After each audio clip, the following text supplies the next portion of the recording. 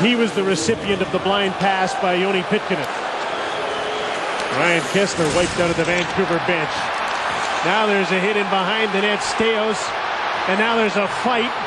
It was Staios on Burrows. And this is Sheldon Souray and Byron Ritchie.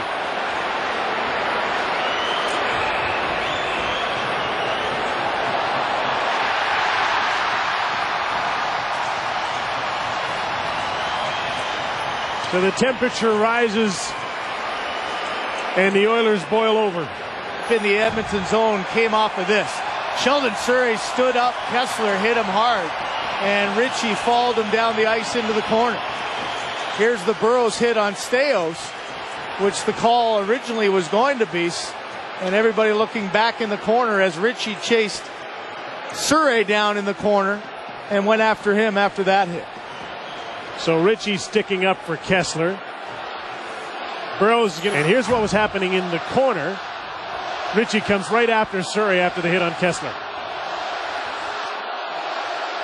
Now, I'm not sure originally if Ritchie was thinking he was going to have to fight, but he came right down and